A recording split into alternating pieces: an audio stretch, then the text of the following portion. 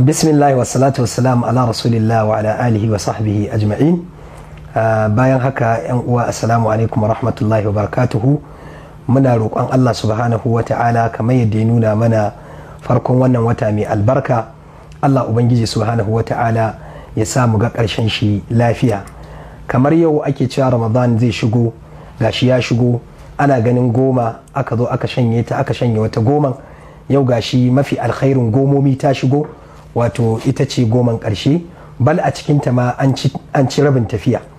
Wanda a yau muna fuskantar wato dare wanda yake shine yana ɗaya daga cikin darare da ake tsammani tsammani kuma mai ƙarfin gaske na wato wato ya kasance daren lailatul qadr wanda allah maɗaukakin sarki ya yi kirari da cewa fi ha yufraqu kullu amrin hakim amran min indina inna kunna mursilin.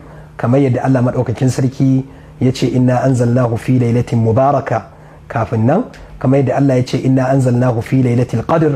Allah ya ce me ya sanar da kai lailatul qadr? Allah ya ce lailatul qadri khairun min alfi shahar ma'ana bauta da yin aikin alkhairi a cikinta shine mafi alkhairi sama da wato bautar da za ka yi wata dubu kana yi shine shekara 83 wanda ba kowa ba ne zai iya kaiwa wannan shekarun a rayuwa kanta. Saboda haka muke jan hankalin yan uwa dama manzon Allah sallallahu alaihi wasallam dai ya gabata cewa idan ma goman ƙarshen nan ta shigo to manzon Allah yana zuge ta zugensa.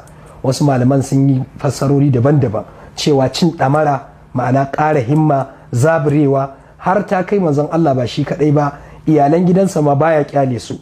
Ƙananan yara kowa a gidan manzon Allah sai ya tashi saboda ƙoƙarin neman dacewa da wannan dare mai albarka saboda irin alkhairin da yake cikinsa.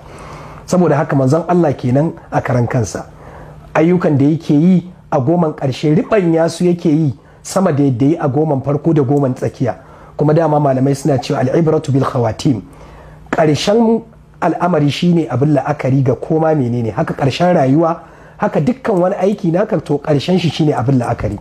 Wannan yasa kamar yadda manzon Allah ya kwadaitar da mu cewa lailatul qadr tana nan amma iltamisuha fil autar min ayyamil ashir al-awakhir dan haka manzo Allah ya ce mu neme ta a ƙarshen ranaku goma kuma mara a ciki. Wanda da yawa an kabi malamai da abubuwan da aka tattara gaskiya ana sa ran cewa duk da ba lalle ba ne ta zanto ko da yaushe tana cikin 27 to amma dai yana da ƙarfi sosai cewa takan kasance so tari a cikin daren 27 wanda muke fuskanta yanzu. Saboda haka muke ƙara jan hankalin 'yan uwa cewa a yi iya bakin ƙoƙari wajen nisantar kasala a yaƙi shaidan. Tabbas shaidan zai zo ya nukurkushe ka zai zo ya yi maka dukkan abin da baka tsammani ba wajen ganin ya wato asarantar da kai wannan yini din ka yi ƙoƙari da kai da iyalanka kada ku wato yi sakaci wannan dare ya zo ya wuce ku ba tare da kun yi wani abu ba. Ko ba komai ku zama idan ku biyu kuna salatin annabi kuna istighfari kuna hailala kuna hauƙala kuna ambatan Allah kuna addu'o'i musamman a cikin yanayin da muke ciki. Idan Allah maɗaukakin sarki ya ansa mana sai ku ga Allah ya kawo mana yayewa a cikin wannan abu.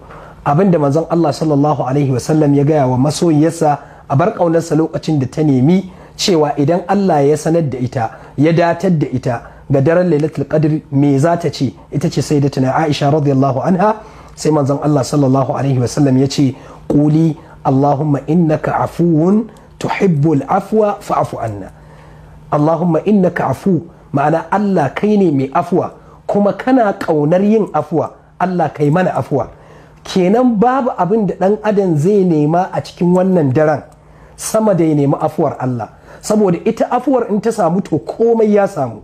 Idan kuma ya zanto ka tsaya ka bige kana neman wasu abubuwan ita kuma afuwar ba ta samu ba to za ka iya rasa waɗannan abubuwan saboda fushin da Allah maɗaukakin sarki yake da kai. Saboda haka wannan dai a taƙaice ɗan jan hankali ne da muke so mu yi wa 'yan uwanmu wajen zaburarwa da kuma dagewa kuma kada mu manta mu tsaya tsayin daka mu roƙi Allah mu kai kukanmu mu tazarru'i mu kankan da kai mu kai wa Allah kukanmu na wannan yanayi da muke ciki da fatan Allah ya yi mana Allah ya datar da mu Allah kuma ya maimaita mana Ramadan iya tsawon rayuwarmu cikin kwanciyar hankali da kuma nasara ya kuma karɓi abin da muka yi a ciki na ƙiyamun laili da azumi da kuma karɓi abin da muka yi na karatun alƙur'ani mu karɓi abin da muka yi na kyautayi da kyauta da sadaka. Allah maɗaukin sarki ya dube mu ya yayi mana yanayin da muke ciki. Wassalamu alaikum wa rahmatullahi wa barakatuh.